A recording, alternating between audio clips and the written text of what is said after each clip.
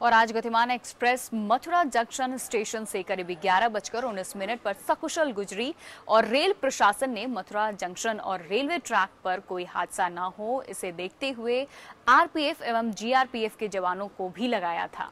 गतिमान के सकुशल रवाना होने से रेल प्रशासन ने राहत की सांस ली है। वहीं रेल यात्रियों ने देश के इस पहली सेमी हाई स्पीड ट्रेन की विधिवत शुरुआत होने पर खुशी ज़ाहिर की है। सुरेश प्रभु जी ने अपनी बजट स्पीचेज में इसका एम्फोसाइज भी किया था कि हम अपनी ट्रेन की स्पीड को बढ़ाने की कोशिश में लगेंगे।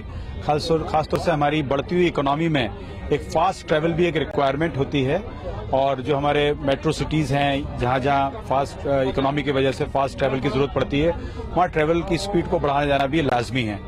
तो ये ऐसे कई कॉरिडोर्स आइडेंटिफाई किए गए हैं। ये पहला ऐसा कॉरिडोर है जहाँ पे हमने इस, इस हाई स्पीड के कॉन्सेप्ट को इम्प्लीमेंट किया है। इसमें आप देखेंगे कि इंटीरियर्स हैं जो कुछ इसके उनको स्पेसिफिकली मॉडिफाई किया गया है। यात्री की सुविधाओं को ध्यान में रखकर किया गया है। एलईडी लाइट्स का जो अरेंजमेंट है और टॉयलेट्स में जो अरेंजमेंट है वो यात्रियों की सुविधा को ध्यान में रखकर किया गया है। बहुत अच्छा रहा सफ़र अच्छा रहा पर इसमें ये था ड्रॉबैक ये थी कि इसमें कोई कंडक्टर नहीं आया चेक करने के लिए टिकट चेक करने के लिए, कोई कंडक्टर नहीं आया हमारे पास में। और मैंने कईयों से कहा भी, जो जो अटेंडेंट थे, उनको भी कहा कि कोई कंडक्टर नहीं आया। कहते हैं, वो बहुत दूर है, एक घंटे का थोड़ा सा सफ़र है तो नहीं आ सके आपके पास में।